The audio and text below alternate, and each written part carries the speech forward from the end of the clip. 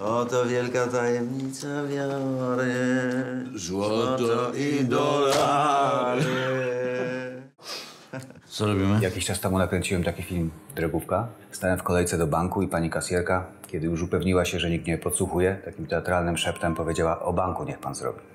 To dla mnie był taki sygnał, że jakiego środowiska się nie dotkniesz, to tam zawsze jest jakaś kopalnia pomysłów na film. Ile? Co łaska, ale nie mniej niż tysiąc. Dlaczego padło na, na Claire? Zawsze robię filmy, mm, po których spodziewam się jakiejś debaty. Nie interesuje mnie kręcenie błahych historii. Lubię to, co jest pod dywanem, kamerą wymieść. I też liczę na to, że to właśnie może spowodować jakąś refleksję, żeby ludzie nie traktowali księży jak świętych, bo to są ludzie, po prostu mają sutanny, to nie są święci.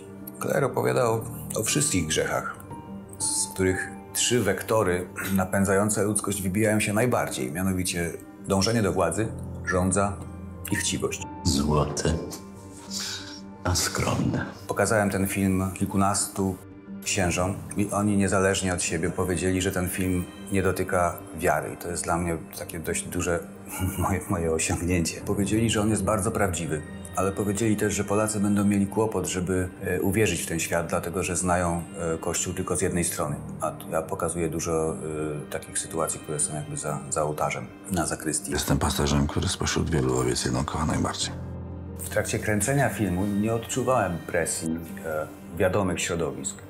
Natomiast w trakcie przygotowania do filmu, no to szybko się okazało, że musimy mieć zdjęcia wyjazdowe, zagraniczne. Kręciliśmy w Czechach, ponieważ w Polsce e, nikt nas nie chciał wpuścić do kościoła. Film jest dużo bardziej poważny niż zwiastun. Oczywiście nie brakuje w nim scen takich lżejszych. E, one służą temu, żeby widz mógł przez tę historię przejść, przetrzymać ten film. Miało się jakoś tak ku wieczorowi, kiedy posłańcy traktem przyjechali. Film ma takie rażenie masowe, a ten film też opowiada o pewnej skali zjawiska. Kościół jest święty, ale tworzą go ludzie grzeszni. Taką mam ideę, że może część tych młodych księży po seminarium również zada sobie to pytanie, czy ta instytucja, którą swoimi twarzami firmują, czy ona dobrze postępuje, czy, czy wymaga zmian, czy można ją zmienić. No, chociażby refleksja.